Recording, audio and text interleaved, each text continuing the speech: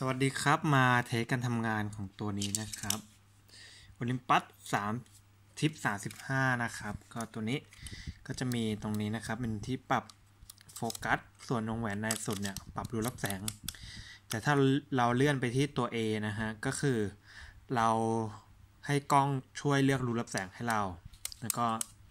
ก็เหมือนมันกึ่งกึ่งเลือกเลือกวัดแสงให้เรานั่นเอง ตรงนี้เป็นที่ขึ้นฟิล์มนะครับ นี่ ขึ้นจนสุดแล้วจะเลื่อนต่อไม่ได้แล้วนะครับ ก็กดถ่ายได้เลย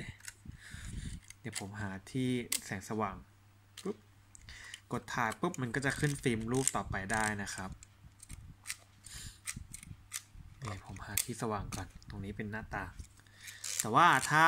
ตราบใดที่มันมืดไปนะครับ นี่เดี๋ยวลองเอานิ้วบัง จริง ๆ ในนี้มันก็มืดไปแล้ว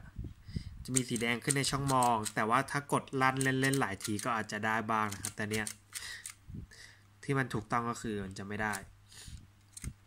เนี่ยเดี๋ยวผมเปิดไฟเนี่ยเห็นชัดๆเลยอันเนี้ยได้ปุ๊บแล้วกล้องก็จะเลือกรูรับแสงให้เรา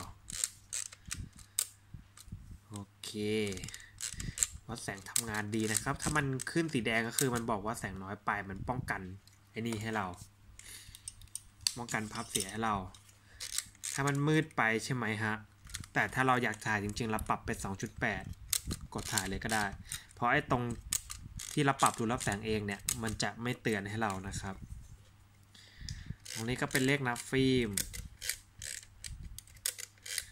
ตำหนิกล้องตัวนี้จะมีรอยรอยตรงนี้เห็นไหมตัวมันจะเป็นเหมือนตัว P เงาเงาแต่มันไม่ใช่รอยบุบนะโอเคส่วนตรงนี้เป็นเปิดฝาหลังปุ๊บเอาฟิล์มใส่ตรงนี้เอาปลายฟิล์มเสียบเข้าร่องตรงนี้นะครับ นี่ โอเค ทำงานครบถ้วนครับ โอเค ส่วนสายฝานี่เป็นฝาเทียบนะของแท้ไม่ค่อยมี ให้ปรับไปที่ภูเขาแล้วก็ใส่ได้พอดี โอเค ขอบคุณมากครับ